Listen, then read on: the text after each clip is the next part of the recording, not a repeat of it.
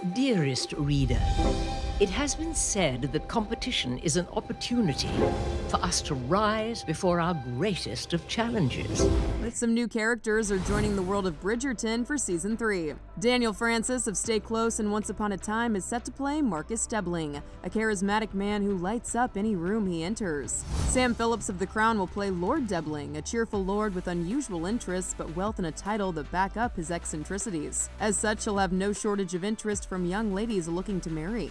And James Phoon will play Harry Dankworth, who is somewhat lacking in wit but makes up for it with serious good looks. This news comes as season 3 of the Shondaland romance has begun production in London. On Wednesday, Netflix shared this video on Twitter of the cast getting back to work.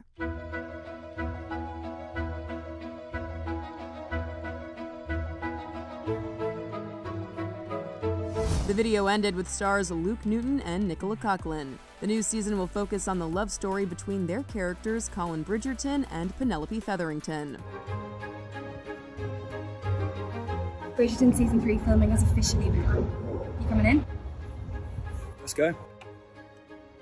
For more on this story and the latest TV news, go to thr.com. For the Hollywood Reporter News, I'm Tiffany Taylor.